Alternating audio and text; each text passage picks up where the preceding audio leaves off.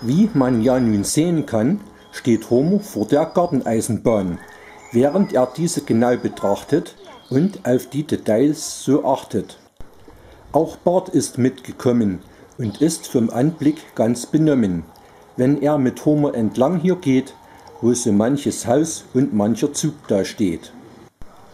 Da Homer und Bart bei der Garteneisenbahn waren, sahen sie auch manchen Zug da fahren. Wenn Homer meint, dass den ganzen Tag die Sonne scheint, fragt man sich, was hat denn Homer nur, ist doch die Garteneisenbahn in Miniatur und fährt entlang halt hier, nur Homer hat da halt kein Bier. Der Tag ist ziemlich heiß und bei Homer läuft der Schweiß. Man glaubt es kaum, alles ist auf engstem Raum. Bart und Homer sich nun entfaltet, wurde die Landschaft doch perfekt gestaltet.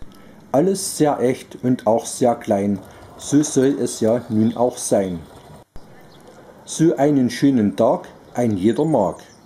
Ganz ungezwungen ist dieser Tag doch wieder gelungen. Homer will jetzt noch zum Imbiss laufen und sich da ein Bier noch kaufen, denn er hat vom Spazieren großen Durst. Bart bekommt ein Wasser und ne Wurst.